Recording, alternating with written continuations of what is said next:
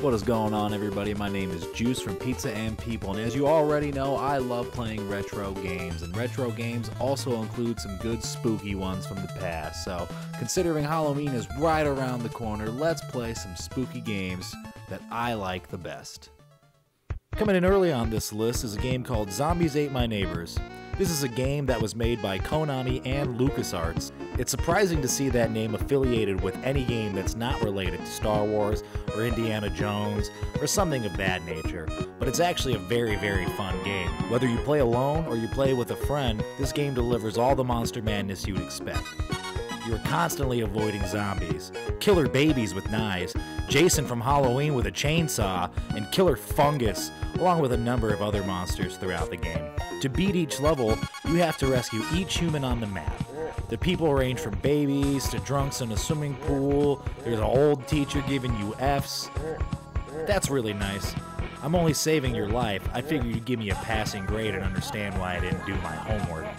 You also have to save cheerleaders, tourists, dads grilling outside, and others as well. It's a game like Pac-Man or ToeJam and Earl, where there are 99 levels, at least I believe there are 99 levels, I've never gotten that far. And as the game goes on, it progressively gets harder and harder. Each level may require different weapons and power-ups to get you through it. Though it is a long game, there is a password system, and each password is only four letters long, so it's easy to keep track. I don't know anyone who's ever gotten past the first 20 levels, but if this game isn't enough of a challenge, check out Ghoul Patrol, which is essentially the same game but with slightly better graphics, a story, and a little bit different gameplay. Word of advice though, if you're gonna pick up either game, always choose Julie. For whatever reason, she runs faster. Splatterhouse 3 is a game made by Namco, who by the way is the same company that made Pac-Man. A lot of people seem to like Splatterhouse 2 more than this game, and to be fair, I see why. It's simpler and it's just a sweet beat 'em up. But I like Splatterhouse 3 as well, even though I do think 2 is awesome. I'll let the game explain what you're supposed to do. If you wander aimlessly, you will surely fail in your quest. After completing a room, press the start button to reveal a map of the current floor. Gather the power stones and save them for emergencies. The power of these stones can be released with the A button. Whence your flesh will expand with a surge of power. That was the creepiest voice that I could do. I apologize. Hopefully, it spooked you guys good.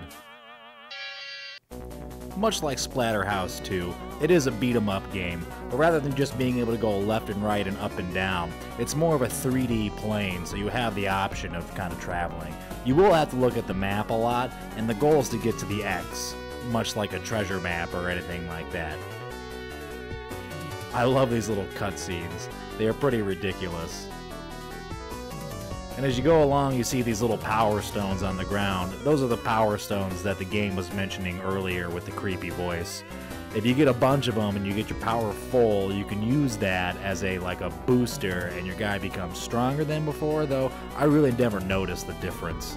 It is a game that will get redundant over time, but it's a fun game to bust out every Halloween or whenever you're in a spooky mood. Ghost and Goblins was an arcade game made by Capcom in the early 80s, and was eventually ported to the Nintendo Entertainment System. Much like other games from this era, it was a very simple game. Run from left to right without dying using a certain combination of platforming skills and power-up selection to try and rack up as many points as possible before reaching the end. Sounds easy enough, right? Well, think again. This is one of the most frustrating games you'll ever play. Now, don't take that as me saying it's bad, it's incredibly fun and addictive. In fact, it's a game loved so much that it was later remade in 16 bit format with the Super Nintendo and Sega Genesis as Super Ghost and Ghouls. Both are essentially the same game, but they have better graphics and different power ups and different levels to get you through. And really, it's actually a little bit more easier than Ghost and Goblins, but still a really fucking hard game. And the cool thing about this 16 bit game is it would later get a spin off. Similar to games like Mega Man, Capcom's Demon's Crest is a great game for Halloween season. You get to be a devil who flies around shooting fireballs at dragons and other monsters. The thing that I like better about this game is that it doesn't have the arcade style play like Ghost and Goblins where two hits kills you and then it's over. This is a little bit longer, there's a little bit more strategy, and it's a lot more of a console friendly game. When the first Castlevania game was released, it really stood out. Most 8 bit games were light-hearted and childish, and in comparison, Castlevania was dark and violent. Looking at it now, it seems just as lighthearted as any other game from that catalog, but during an era where games were like Bubble Bobble and Super Mario, it was easy to see why the game would turn heads. As opposed to it being a game about getting the high score, it was a game where you had to collect power-ups and defeat zombies and ghosts. The combination of dark outdoor scenes to colorful castle rooms hooked gamers who were looking for something out of the norm during the 8-bit era. And as the years went on, even more Castlevania games came out. The immediate sequel to Castlevania, Simon's Quest, was not well received. The graphics were better, the music was sweet, and it had many similar aspects of gameplay that hooked gamers just the title before. However, it was a game with just too much ambition. Whether it's the constant day to night shifts or all the useless text box, Simon's Quest was a game with too many good ideas not executed the way that it should have been.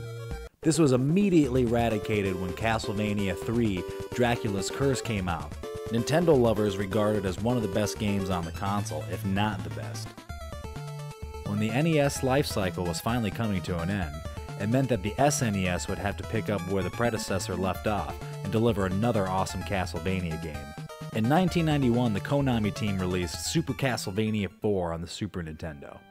It was a huge improvement on what was already a great game, for starters, unlike all the other Castlevania games, the whip that you use to defeat enemies and find hidden items now could also be used in a 360 degree motion as opposed to just going forward. Your whip was also used to fling yourself from platform to platform on occasion. Super Castlevania 4 was simply a masterpiece. The graphics in each background is very detailed and they set the mood perfectly. Most people thought that this would be the standard for Castlevania games moving forward. However, it would end up being the only game to feature this style of gameplay. Sega would eventually get a Castlevania game as well, and I'd personally argue it's the best game on Sega Genesis. It's not really much different than the other Castlevania games you'd play, except the fact that you have the choice between two players as opposed to just one. The first player that you select still has a whip, but the intriguing part is that you can select another player who uses a lance instead. In 1995, the Super Nintendo would release Castlevania Dracula X, and though there were a lot of people disappointed by it, I think it's the best Castlevania of the 16 bit era. The biggest complaint that it seems to receive is that the whip goes back to only going straight. But to be honest, in Super Castlevania 4, I never actually found many times where I needed to fully control the whip to attack enemies. So I'll take improved graphics, music, and overall gameplay over an overrated feature all day. And if you look at this game, it would foreshadow the future of Castlevania games. Well, the future of a Castlevania game, more specifically. Castlevania Dracula X gets picked up on Sony PlayStation's Castlevania Symphony of the Night. Try to say all that a lot, it's pretty fucking hard. The soundtrack is one of the best that I've ever heard, and it really helps guide you through this humongous game. This game features a style of play almost identical to Super Metroid. Even the way you save is exactly the same. The player has to explore the castle from top to bottom, using a map to help guide you to the spots you haven't been to yet. Each area of the map contains items, weapons, and power-ups that you will need to fight the bosses and complete the game. Unlike the other games as well, Symphony of the Night features RPG-like gameplay, where the character, Alucard, will level up and gain experience after beating each enemy. These experience points will make Alucard stronger and give him powers making the game easier. And there you have it. There's a list of some of my favorite Halloween games and spooky games, or whatever you want to call it. And I know I left a lot of good ones out, probably like Resident Evil, Silent Hill, but some of those games would have taken just way too long to give you guys gameplay footage of, and it would not have done the game justice. And I know some of you are going to think that what I showed you didn't do the games justice either, but hey, this is just the opportunity for you to go out and play the game and find out how actually sweet they are. So if you didn't like this video, leave a comment and tell me what you think I should do differently. And if you did like the video, leave a comment below anyway and tell me what's up. Anyways, hit that like button, subscribe, and check back for more videos from Pizza and People.